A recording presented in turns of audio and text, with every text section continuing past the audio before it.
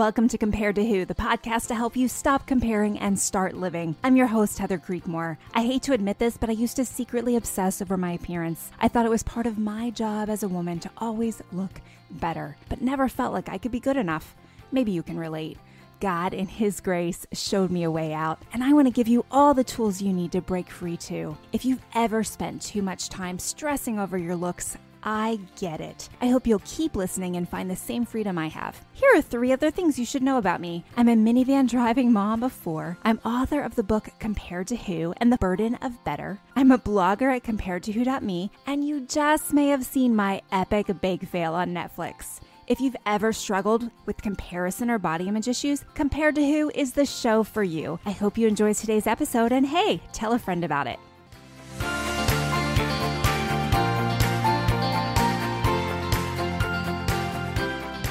Hey there, welcome to the Compared to Who show. I'm Heather Creekmore, and I'm so glad you are watching or listening today. Compared to Who is part of the Edify Podcast Network. Today, we are continuing our conversation with two of my friends, Char-Lee Cassel and Erin Todd. We had an awesome conversation in part one. So go listen to that one first. But what we're doing is we are just dissecting and revisiting the different interviews I did through this fall with non diet dietitians. So these are women who are trained in all things nutrition mm-hmm. and yet believe in a non diet approach as the best approach to be healthy. And when I say healthy, I mean healthy, physically, mentally, emotionally, spiritually. All health is not just your body size. Okay.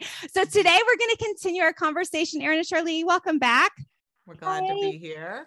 So we ended yesterday talking about my interview with Stephanie Reinhold and all the candy. And so that was kind of fun. You might want to go listen to that one if you haven't listened to that episode yet even though it was seasonal, we timed it right around Halloween when trick or treat candy is going to come out. There's going to be more candy coming around Christmas if your house is anything like mine. Um, so go listen to that episode if you haven't listened to it yet, because there's a lot of interesting truth there. And then Erin and Char-Lee and I talked about kind of what really happened. I tried to do what Dr. Reinhold, what Stephanie told me to do in terms of candy, and it kind of worked. Actually, more than kind of worked. I think it did work. So um, go listen to those. But today we're going to jump in talking first about the interview I did with Brooke Frederickson. Now, Brooke's also a non diet RD. And Brooke and I started our conversation by talking about the acronym HAES, which stands for Health at Every Size. It comes from a book. There's a lot there. Char-Lee, tell me, just give me the nutshell. What is HAES? Give me a little bit of the science, like health at every size. That might be the first time someone's ever heard that. Yeah. Fill me in a little there. Yeah. So basically, that you can be healthy in all different body sizes. So, health isn't based on your weight or the size of your body. Health is typically more uh, a result of your habits um, spiritual habits, your physical movement habits, your eating habits, um, your social environment. Um, all of these things more play into your health than your weight does. And the health at every size research really breaks that down, looking at uh, markers like blood pressure, uh, blood sugar, um, incidence of diabetes you know all of those those health markers that we think of.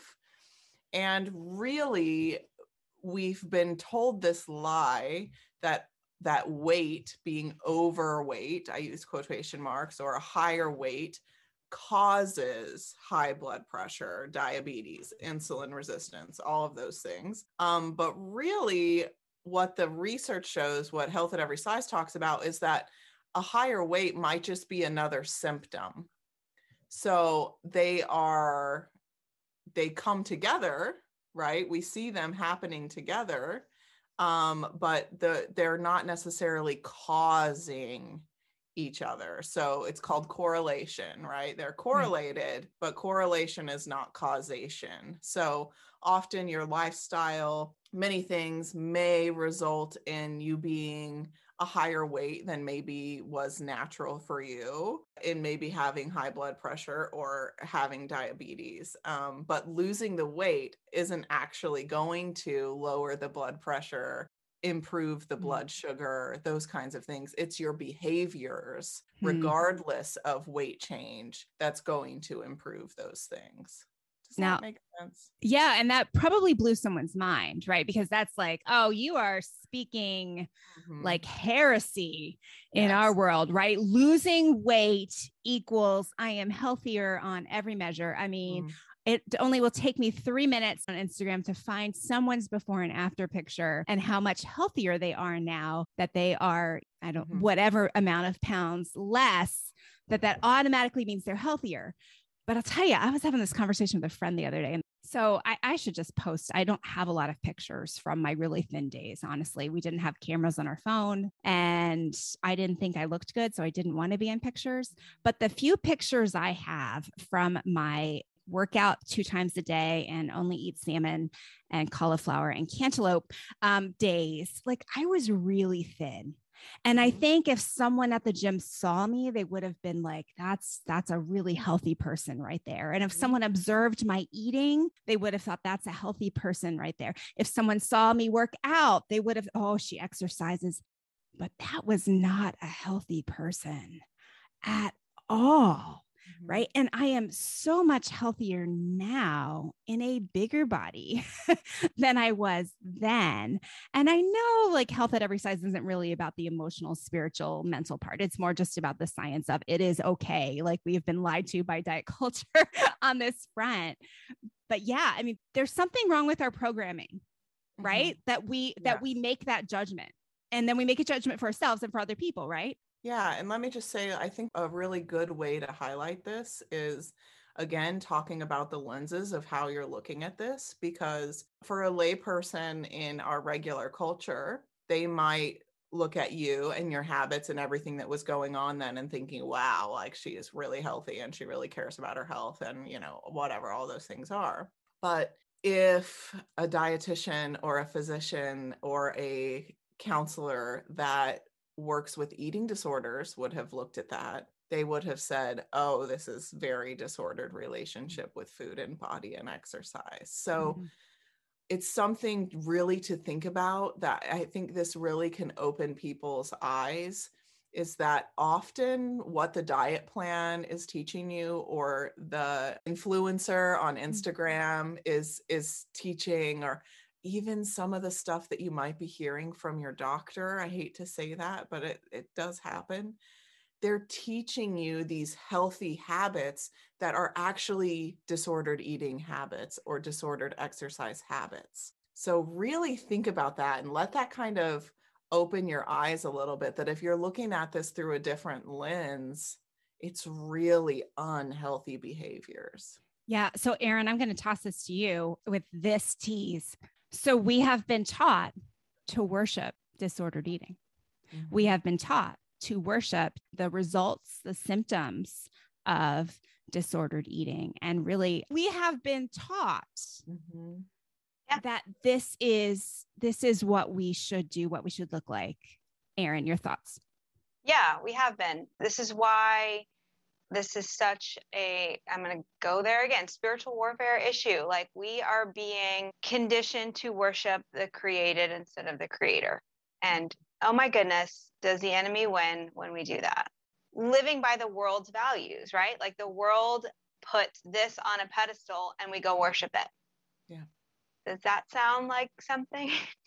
Gonna, it's idolatry y'all. Like it's mm-hmm. totally idolatry. And um, the thing that I'm starting to wake up to um, is how how ugly that is when it plays out in our relationships with other people. Like just going back to what you guys were saying a minute ago about looking at somebody and judging them. You can't know their health by looking at them. Yeah. Period. Yeah. And you're not treating them like an image bearer of God when you do that. Yes. It is making this like sickness on all of us. Like, mm-hmm. even if you don't have the behaviors yourself, if you're not practicing them, if you're giving somebody a compliment, based on those set of values, you're participating in that. Mhm. Right. And you're getting sucked into it. And it's just, it's awful. We we need to burn it to the ground, y'all. Yeah. Uh, so I'm going to make you a little sign you can just hold up and say spiritual warfare. Spiritual attack. It's spiritual attack. but no, you're so you're so right, right? Because it's so subtle. I mean, that's the number one thing when people read compared to who they're like, oh my word, I had no idea this could be idolatry. And I'm like, yeah, that's why I wrote the book because I had no idea it could be idolatry. Mhm. And so, I mean, that's that's where the eyes have to be open first. Like, if you've never Yes. considered that this is idolatry, oh hello, this this is something new for you. And I even I have a problem still with so many people in the Christian arena, like skipping that part, or or like, okay, here's this much information about how awesome your body was, and then here's one line that it might be idolatry if you think about this too much. Like that bothers me because I feel like mm-hmm. no, no, no, the culture we live in, and in fact, to the yesterday I mentioned this this quote that someone put on Facebook, but like all roads have to lead to intuitive eating if you want to be free. Because if you live in diet culture, this is what you like. You're part of the culture has the word cult in it, right? Like you're Mhm. like you're part of the cult of beliefs that this body size is what everyone needs to have and should have, and this should be worshipped and glorified, right? Yeah. yeah. Yeah. I think Erin said it perfectly that you're following this set of values, right? You're following this set of values that these, this body should be worshiped. These certain things are great. And even like you said, you know, it's like we say that it's about health or we want it to be healthy, but we can just throw health out the window to have this body that looks healthy according to the world's standards. Right. um so i think it's so important to to really ask yourself like what set of values am i following here? What's my goal? What am i really trying to achieve? What do i really care about? What am i worshiping? Right. because if you look to the word you start to have very different thoughts and desires and beliefs than you do if you're looking to the world This podcast is part of the Edify Podcast Network. Edify is a faith inspiring app that brings together thousands of the best Christian podcasts in one place for your listening enjoyment. Cut through the noise and grow your faith by diving into the world's top Christian podcasts today. Download the Edify app for free from the App Store or Google Play, or by going to edify.app. That's E D I F I dot app. I mean, honestly, when these thoughts and values, these diet culture thoughts and values, when they dictate our actions, we do treat other people differently. And we don't have time to go there like fully mm-hmm. today. But just thinking about what happens when, you know, the one person eats dessert at the table and everyone else is like, well, I'm being good. What messages are you that one person, right? Like, well you're bad right? Like i mean there's so many different like layers of that. But Yeah. we we've talked about two books now. We've talked about the HAES book the health at every size book and we've talked about intuitive eating. And i just want to be clear about something friends. This is these are not christian books okay? Yeah. they have helpful like science data like interesting things. Like when i started reading intuitive eating i was like oh huh i've said that. Mm. I thought i was original. when i said but I mean, I was shocked reading the intuitive eating book because it was like, oh my word, she's talking about like worship and idolatry, and she's not even a Christian.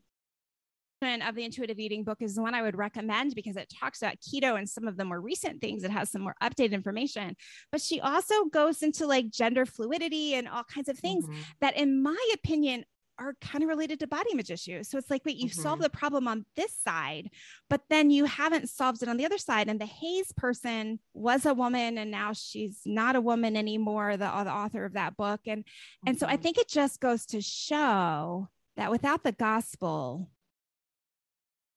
we can't rely on these books for Yeah. for for truth right but without the gospel like we don't have any hope and and really that i think that applies to diet culture too right your diet absent the gospel you don't have any hope even if it quote unquote works for you right like Yeah. like none of these quote unquote plans n- no nothing works without the truth that you were mentioning Char-Lee unless we know that we were made in god's image you know Erin unless we're Mhm. treating people like image bearers unless we recognize that Mhm. we're sunk thoughts Yeah, Totally agree. well, I, you know, I always share my story. I got diagnosed with my autoimmune disease when I was the healthiest ever. Like people would have looked at me and said, wow, like I was the health nut. I did all the healthy things and it totally destroyed my body. Um, so that was not very healthy.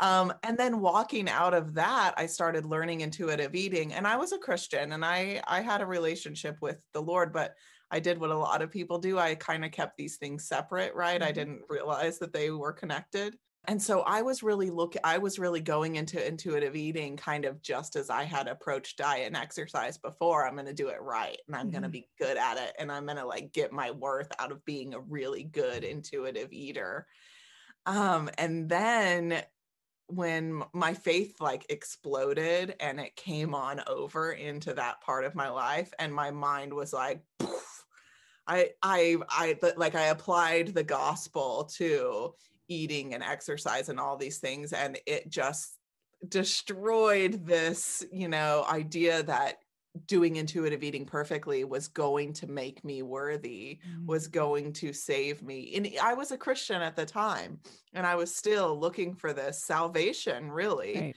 in intuitive eating so intuitive eating health at every size xyz diet plan none of these things are the answer truly the gospel is the answer. And then when we are walking with the Lord, when we're listening to the Holy Spirit, when we're acknowledging our identity in Christ, and we're healing from an eating disorder or from disordered eating or chronic dieting or whatever it is that we can we can take in the tools of intuitive eating and and learn the science learn about some health at every size stuff because God created science, right? Mm-hmm. This we're learning about God's creation when we're learning about the science and it gives us some more knowledge and some tools to use to heal. But you will get nowhere without the gospel. Amen. Yeah. Okay. So let's move on to my interview with Megan because that's just good truth and just sit there. Erin, she yeah. talks about we we started talking about like how people eat all the things in the afternoon and evening. That's like the number one thing that people say. Oh, I can't stop eating the afternoon eating and evening. But Megan talks about the answer being to eat. And you mentioned earlier that the answer, this was in the first episode, that the answer to being afraid of all the foods for you in orthorexia of, of some various spectrum, right? But the answer for you was to eat. So what, what did you take from that interview?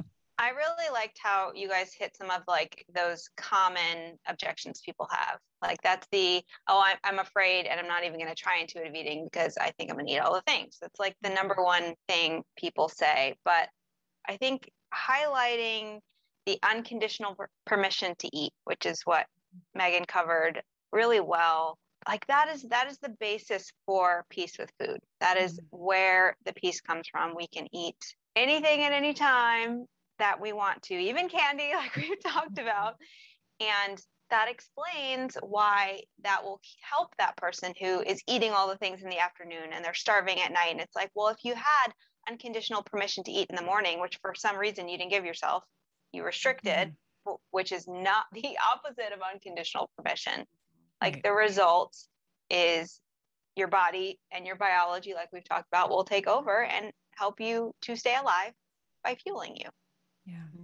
Well, I was just thinking about, I think it was Megan that mentioned this, but it may have been someone else. And Char-Lee, you may have more to fill in here.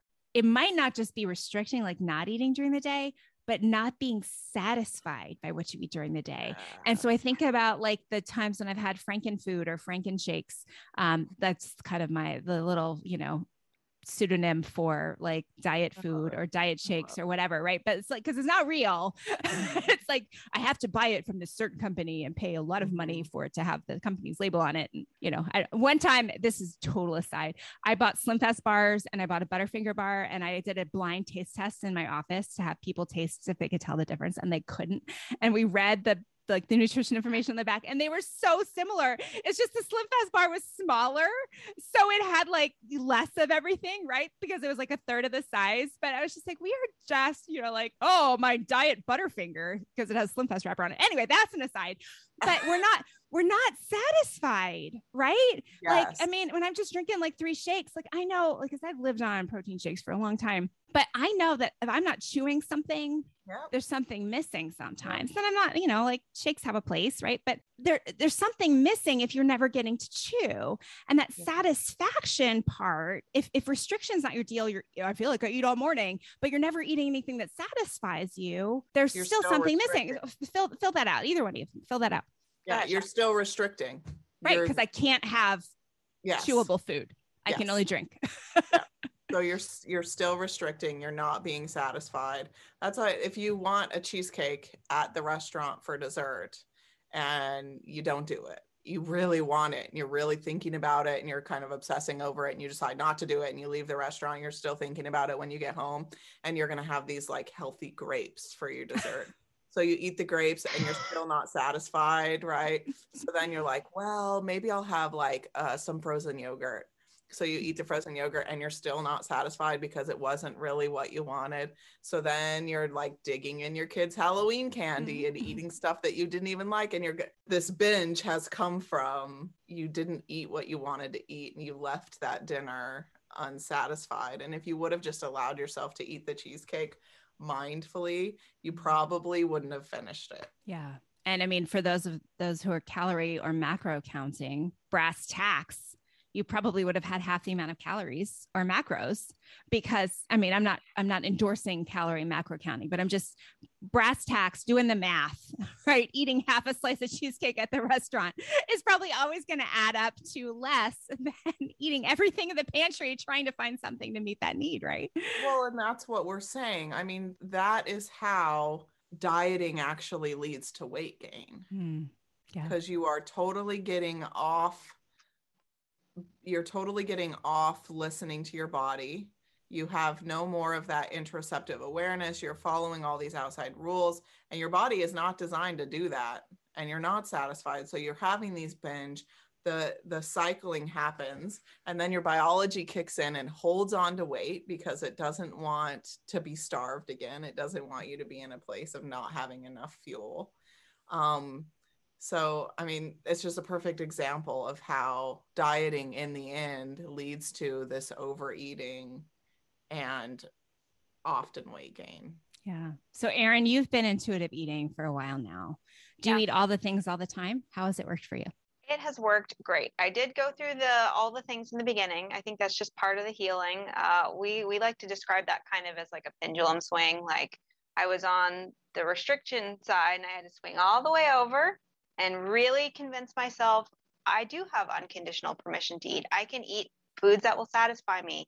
This is, you know, I stayed there for a minute and then my body started talking and saying, "Hey, we need some vegetables." some water, something different, and you get to your middle. You get to that where you are eating what you're in what you need to fuel yourself. You're being nourished, you're enjoying what you're eating, and your body is functioning well. Yeah. That's a good spot to be in. And I've I've I've been pretty close to staying in that like pocket of like this is nice. I'm mm-hmm. just food is food and Yeah. I'm enjoying it and I live my life. Yeah. But that unconditional permission to eat, I mean, that, you know, it shouldn't be hard. It shouldn't be a big thing. It's only Right. hard because signs going up, the lies are so loud, Yeah. So coming from everywhere. The food police is so loud. Our mm-hmm. baggage that we carry about that, like you have to unlearn all of that and then relearn this in that kind of I'm in a new relationship and I'm going to build trust and I'm going to walk this out. like it takes time to really let that sink in. You can't just understand it intellectually. That's not enough. You have to experientially learn it. Yeah. Yeah, I think a good starting place is uh, to to take a minute and think about what Jesus did on the cross Mm. for your sins, for your inadequacies, etc., etc. And then think about your eating choices, think about food, giving yourself unconditional permission to eat and think about whether your your food choices have the power to make you good or bad. Mm. Yeah, that's good. That's good.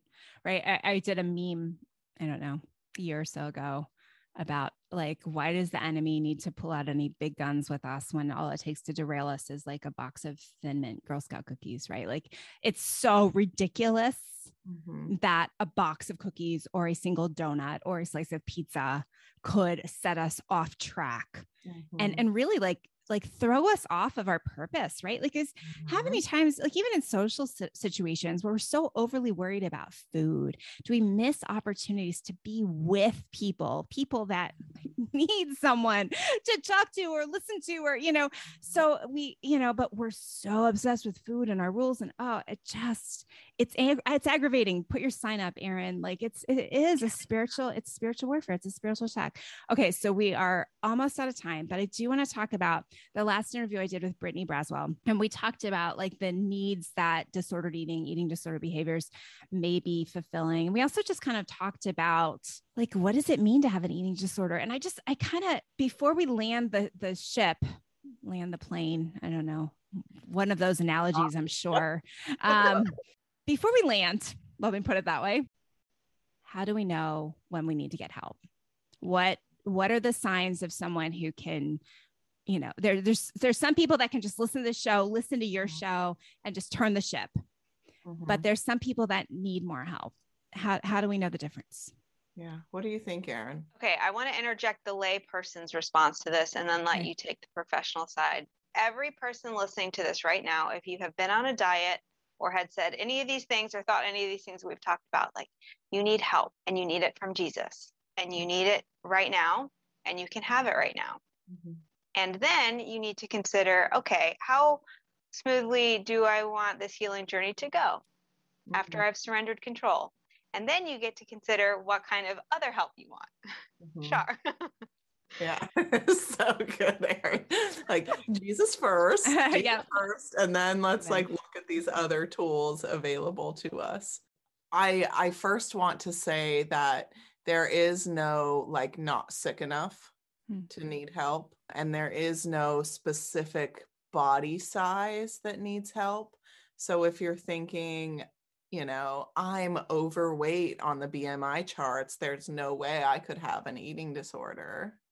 An eating disorder is your behavior, it's not necessarily your body size. So I think I think it's it's personal to everyone, but if if you're listening to the things that we're talking about um, if you start looking into intuitive eating and it's too much it's overwhelming it's scary you definitely need some help right if if you're if you look at the principles of intuitive eating and and that it's it's so far away and there that i mean that's just like a no-go then i absolutely would look into professional help getting someone alongside you that can help you work through the principles of intuitive eating.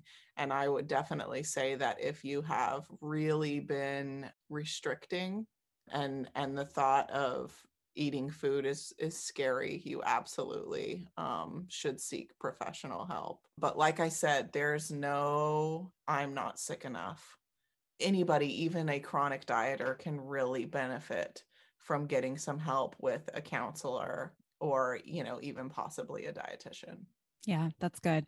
And and i wanted to throw in we didn't actually talk about the interview i did with tracy brown quite frankly because as i was making my notes i just forgot that one. So sorry tracy that was not on purpose.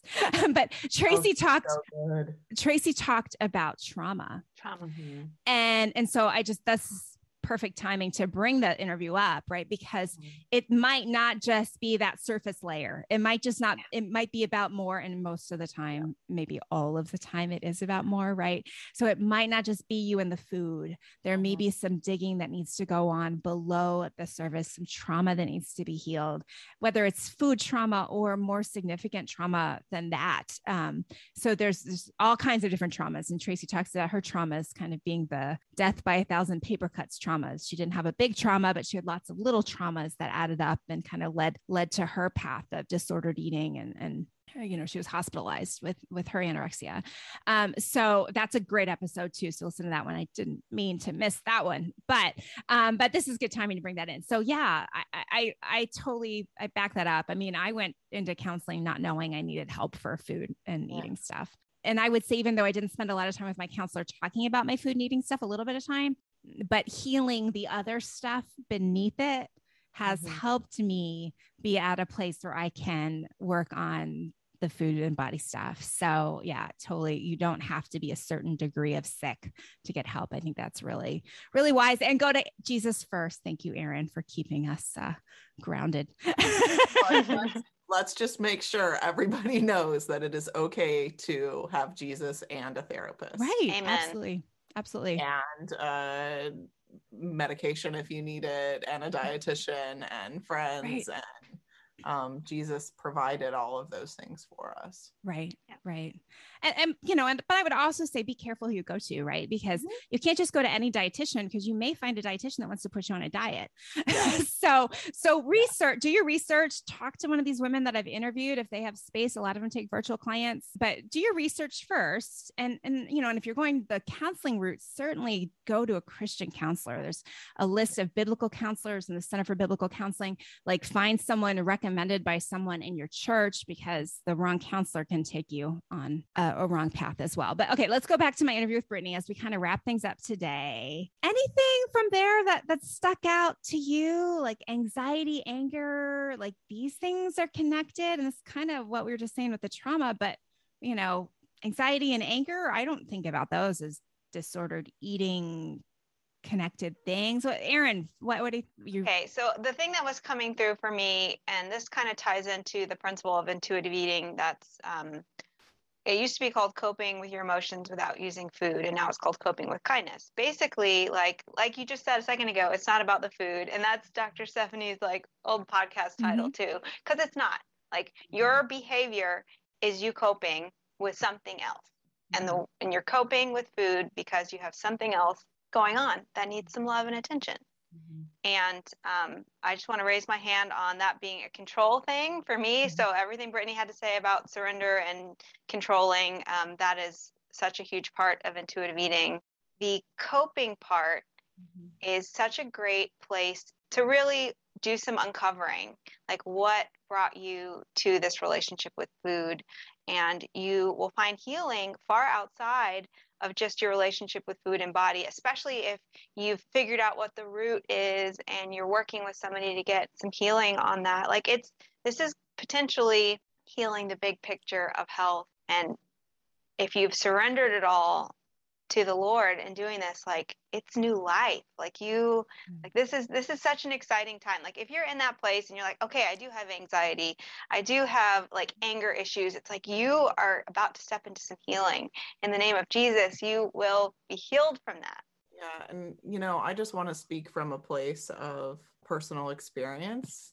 Definitely have dealt with lots of trauma and depression and anxiety and lots of lots of the things. If you're to that place of recognizing, oh, like one of my coping mechanisms has absolutely been food, binge eating, or restriction, they're the same side of, you know, they're different sides of the same coin.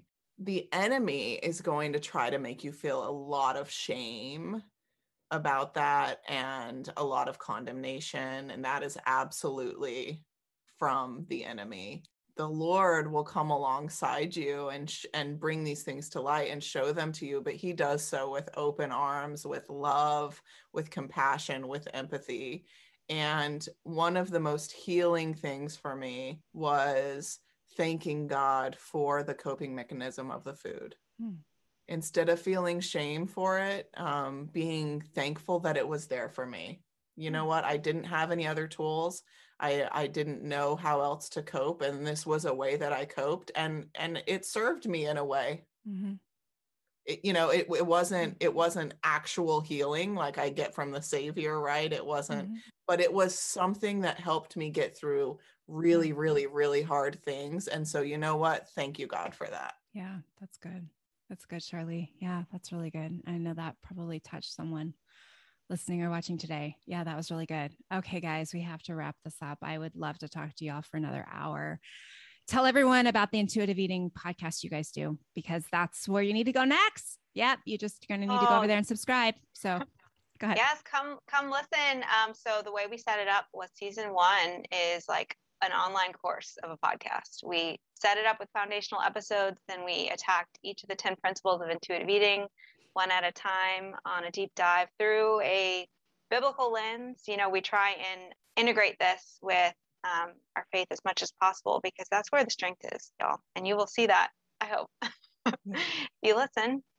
Yeah. And so, along with that, we have a workbook, seven bucks. It's like the cheapest online course you could ever do, right? It's seven dollars. It's you can download it and print it and then have the workbook with you as you're listening through season one to take notes. There's lots of reflection questions, um, scripture, uh, all the things really to get started with intuitive eating. That's a, a really fantastic place to start for the Christian woman. Awesome. I hope everyone goes there. I hope everyone grabs the workbook. And I thank you all for being with me today to kind of sum this whole series up. It's been so awesome. And I am so excited to see how God uses it and how God starts to set women free from this food bondage. Woohoo. That's what we want. That's what we pray for. Um, and so, so thank you all for, for being with me. And you guys are going to help me a little bit more. I think we're going to start talking about my journey intuitive eating. So yeah. I think we're going to start kind of doing these episodes, maybe where I haven't figured out a schedule yet, but every couple of months where I'll check in with you all and you all will help me on my own intuitive eating journey. So I hope you will listen to that. But that's all for today's show. Thank you so much for listening to Compared to Who on the Edify Podcast Network. You can download Edify at the Edify app from your app store, or you can just search Edify. And that's all for today. I hope something in today's episode has helped you stop comparing and start living. Mm, bye bye.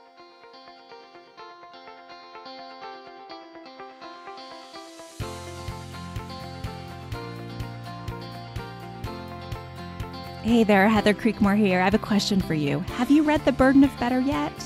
Let me tell you, friends, The Burden of Better is my favorite book that I've written.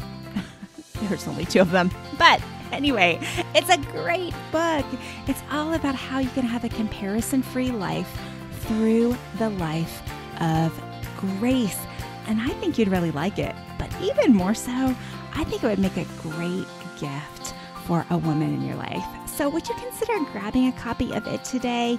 It's on Amazon, Barnes and Noble, Walmart.com, pretty much any place you would buy a book online. You'll find The Burden of Better How a Comparison Free Life Leads to Joy, Peace, and Rest. And I think there's a woman in your life who would really be blessed by this book. And hey, if you're looking for a New Year's study, consider grabbing a few friends and doing the burden of better together as a group study. There's scripture in every chapter, there are questions at the end. It's really set up well for you to study it with a small group of women. I think y'all get a lot out of it. So check it out. You can download a free sample of the book if you've not read any of it yet on my website, comparedtowho.me. Check it out because I want you to not just have a comparison free Christmas, but to have a comparison free life.